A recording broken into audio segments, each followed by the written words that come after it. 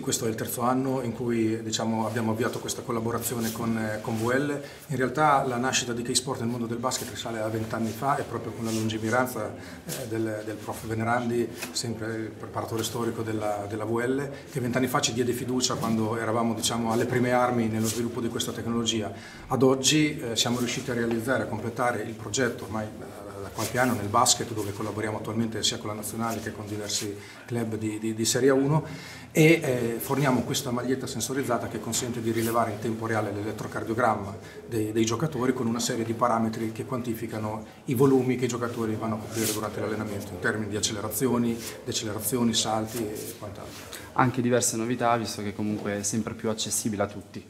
Sì, diciamo che eh, una svolta per K-Sport a livello aziendale c'è stata a gennaio di quest'anno quando il Fondo Italiano Rialto di Milano è entrato nel capitale sociale cercando di spingere l'azienda verso due direzioni, una l'internazionalizzazione e secondo quello di lanciare un prodotto rivolto ai fans, quindi agli amatori, quindi con una tecnologia simile a quella che usano i professionisti che consenta ai fans e agli amatori anche di comparare i dati che possono raccogliere nelle loro partitelle amichevoli nei loro allenamenti con quelli dei professionisti. Essendo eh, nati in Italia, noi siamo qui a Pesaro, siamo a Basket Basket City, ma chiaramente ci siamo molto evoluti nel, nel calcio come e attualmente per esempio in Serie A tra le società professionistiche tra A, B e C su 100 squadre un'ottantina utilizzano le nostre, le nostre, tecnologie. Lavoriamo con il Real Madrid, con l'Al Nasser di Ronaldo piuttosto che con la nazionale argentina